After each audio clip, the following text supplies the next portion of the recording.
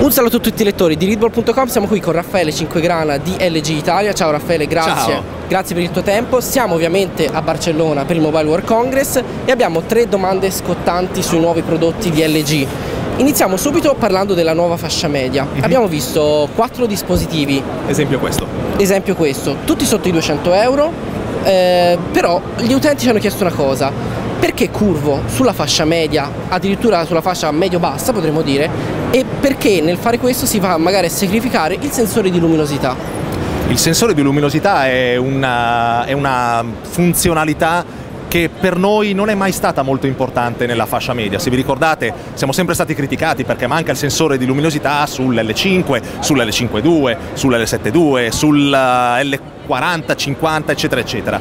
Per noi il sensore di luminosità è una funzionalità che, per carità, mettiamo sui prodotti top di gamma, ma sulla fascia media noi vogliamo differenziarci e il sensore di luminosità non fa la differenza. Come dico sempre io, progettare un eh, nuovo smartphone o qualsiasi altro prodotto è una questione di bilanciare le caratteristiche. E allora noi che cosa facciamo normalmente? Invece che focalizzarci su queste, diciamo, cose che bene o male magari tutti quanti potrebbero avere, io posso capire che è comodo, però preferiamo cambiare qualche cosa, preferiamo magari puntare sul display, per esempio il Magna oppure il, lo Spirit hanno un display IPS con tecnologia in-cell che normalmente si ritrova soltanto sulla fascia più alta, un display di qualità superiore.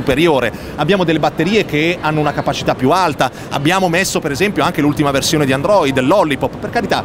Cose che uno può dire, beh però alla fine per me il sensore di luminosità era più importante, ma la nostra direzione è quella di dire vogliamo fare qualcosa di diverso. Oggi, con la nuova gamma, abbiamo degli smartphone in fascia media che anche soltanto a colpo d'occhio possiamo dire solo LG ha degli smartphone leggermente curvi. Perché li abbiamo fatti leggermente curvi? Perché sono più ergonomici, anche semplicemente quando devo utilizzarli con una mano sola. Quando li utilizzo per eh, telefonare magari il microfono è un po' più vicino alla mia bocca, quindi diamo questo valore aggiunto in termini di design.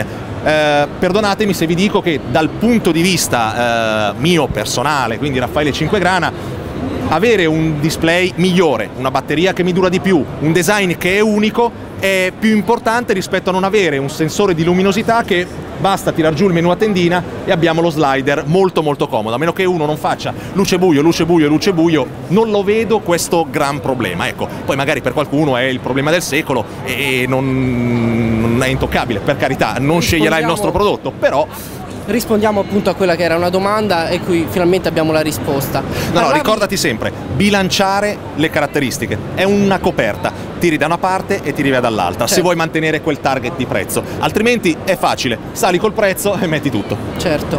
Parlavi di display curvi, io tiro fuori dalla tasca il mio LG G Flex 2, non ce l'avete dato voi quindi... Miracolo che ce l'abbia perché ancora non Miracolo. l'abbiamo lanciato. Eh, terminale che ti dico prime impressioni positive e ci sono state però delle voci sul web qualche addirittura diciamo così accusa. LG ha lanciato uno smartphone lento che lagga. Come ti senti di rispondere a queste, a queste accuse che Critiche. sono state rivolte critiche a LG Beh, innanzitutto dovremmo provare gli smartphone che poi sono effettivamente per il nostro mercato. Io capisco che ormai il mercato della telefonia è un mercato globale, quindi si tende anche a comprare, a valutare dei prodotti che non sono per il nostro mercato. Quindi questa è la prima cosa. Iniziamo a vedere lo smartphone che lanciamo in Italia e poi magari possiamo giudicare un pochettino meglio. Dopodiché un'altra cosa che è una verità eh, gli smartphone sono sempre in continua evoluzione. Per carità, se abbiamo fatto degli errori, nostro compito, nostro, eh, diciamo così, nostra promessa è quella di migliorare sempre l'esperienza d'uso, come attraverso degli aggiornamenti puntuali e degli aggiornamenti che vadano sempre di più a migliorare le performance. Siamo sempre in ascolto su quello che dicono eh, i vari utenti sui forum, eh, sui siti, monitoriamo, mandiamo costantemente i feedback ai nostri sviluppatori in maniera tale che il parere dell'utente sia sempre ascoltato. Quindi, per carità, eh, massimo rispetto per eh, tutte le recensioni o le anteprime che sono state pubblicate fino adesso. Vediamo poi il prodotto in, eh, che uscirà in Europa e poi comunque state tranquilli che i prodotti sono sempre in via di divenire e quindi a quel punto avremo la possibilità di ragionare a distanza di due settimane, un mese o due mesi, ok, e dire, beh, alla fine LG ha migliorato. Ti ricordo anche per esempio cos'era successo col G3. Col mm-hmm. G3 avevamo effettivamente avuto dei commenti, delle lamentele per quanto riguardava il surriscaldamento dello smartphone e poi l'abbiamo migliorato. La cosa importante è quella, siamo diventati molto molto più reattivi nel seguire i feedback che ci vengono dati dal campo e implementarli con nuove versioni software. Questa è una cosa sempre molto positiva. Direi di sì. Ultima domanda, eh, qui abbiamo visto due nuovi orologi, un, un orologio che vedremo diciamo a breve anche nel mercato italiano il Watch Urbane, esatto. questo è quello Android Wear standard, diciamo così, più rifinito rispetto al G-Watch R, eccetera. Di LG G Watch R. Ma più che l'evoluzione è un altro stile. Un altro stile. Cioè tu devi pensare alla, al mondo dei wearable non mm. soltanto come un gadget tecnologico fatto di caratteristiche tecniche, ma devi pensare a un qualche cosa che una persona deve indossare e dovendolo indossare deve adeguarsi al proprio stile, esattamente, quello è il nostro obiettivo, dare la possibilità di soddisfare più gusti. E allora G-Watch R per magari chi voleva uno, sma uno smartwatch un po' più sportivo, diciamo così, un po' più classico ed elegante, il Watch Urbane. Ma l'LTE è vero che è un dispositivo pensato per il mercato coreano, però magari ce lo possiamo immaginare fra qualche mese, forse qualche anno nel nostro mercato. Qual è il senso di fare questa innovazione, di portare la SIM a bordo di un orologio? Beh, la possibilità di avere uno smartwatch che sia effettivamente stand alone. Abbiamo anche qui eh, ascoltato alcuni commenti e eh, diverse segnalazioni da parte di utenti, della stampa, le aspettative che ci sono e oggi con gli smartwatch uno dei limiti, diciamo, degli smartwatch Android Wear è che tu devi avere sempre con te il tuo smartphone. Prendi per esempio le persone che vanno a correre oppure le persone che lo utilizzano magari per eh, andare a fare delle attività fuori casa, ecco, lasciare a casa lo smartphone può essere un vantaggio e allora a quel punto diamo la possibilità di avere una SIM card integrata poter chiamare, mandare sms, utilizzare il GPS. Ecco, uno dei grandi vantaggi di Watch Urbane LTE, quello che lanceremo in Corea, è che ha dentro anche il GPS e quindi hai la possibilità di avere tutta l'activity tracking completo senza doverti portare appresso lo smartphone.